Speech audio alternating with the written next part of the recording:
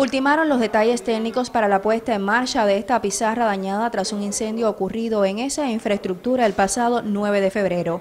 Desde entonces se han visto afectados más de 7.000 pobladores villaclareños que reciben el beneficio de la planta potabilizadora Paso Bonito. Para devolverles la vitalidad del servicio con la arrancada de este panel, hoy Cienfuegos requirió establecer un paro en el abasto del líquido. Estamos haciendo una calibración de las protecciones como tal, que son las que protegerían al motor que, que se va a poner servicio en este momento. O sea, que debe solucionar el problema. Mientras a la par continúa el montaje de nuevos paneles a partir de las mejoras continuas que posibiliten un óptimo servicio a Cienfuegos. Es parte de las acciones que supervisó en esta jornada el gobernador de la provincia, Alexandre Corona Quintero, al chequear los trabajos en la planta.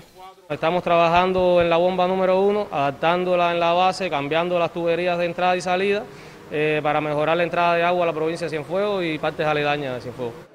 Aquí también las brigadas especializadas crearán un dispositivo que permita independizar esta infraestructura de los paneles para ambas provincias. Ya no vamos a tener que sufrir esos paros. Eh, hay un problema con la pizarra de Cienfuegos y Villa Clara sigue con el servicio. Hay un problema con la pizarra de Villa Clara o con una bomba de Villa Clara y Cienfuegos sigue con el servicio. Según los expertos, la arrancada para bombear el agua Villa Clara fue un éxito y mientras supervisan la sostenibilidad de ese proceso, continúan los trabajos para que a Cienfuegos también llegue con calidad el agua. Mayelín del Sol, Notisur.